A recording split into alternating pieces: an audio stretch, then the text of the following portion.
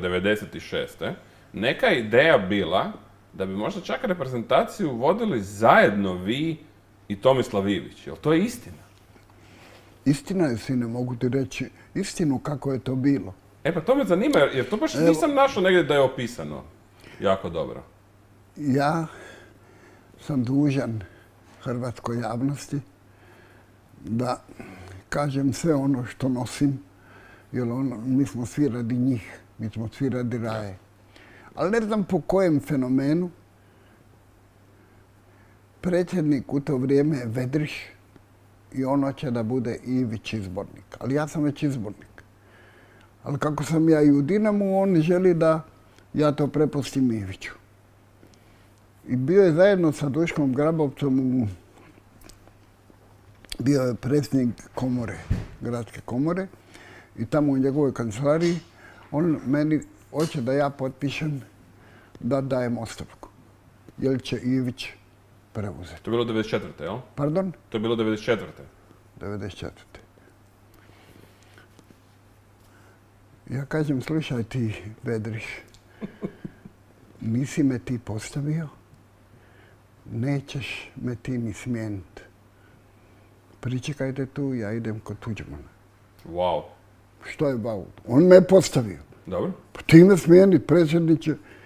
Ja dođem kod Tuđmana i on mi kaže, Čiro, nipošto to nemojte potpisati jer Vedriš će vas prevarit.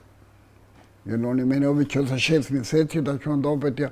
Ali ja sam u to vrijeme trener Dinama pa nemam baš nekih velikih ambicija. No međutim, vraćavši sa, sa Pantovčaka, ja ipak odlučim da potpišem ostavku. Mislim se šta ću ja, ne možeš ti kad je predsjednik protiv tebe, nije ti duga vijeka. I ja potpišem, sutra dan je skupština. A Ivić kaže, neću ja da budem. To samo Čiro može. Evo je, svjedoka ima živi.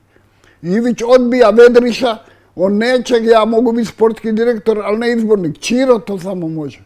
Ivić pokoj mu duši. On to nije htio, tako da sam ja uprkos Vedriša ostao i hvala Bogu, jer ti Vedrišu nisi znao da je samo Čiro mogao voditi tu, tu grupu. Ali on je imao svoje potrebe da bude faca. Nisi bio faca, sine, u mom slučaju, Vedrišu, poručujem ti, nisi bio, a ja ću naći načina da to sve publiciram. Tako da ovaj, da kojim slučajem Ivić nije imao taj refleks,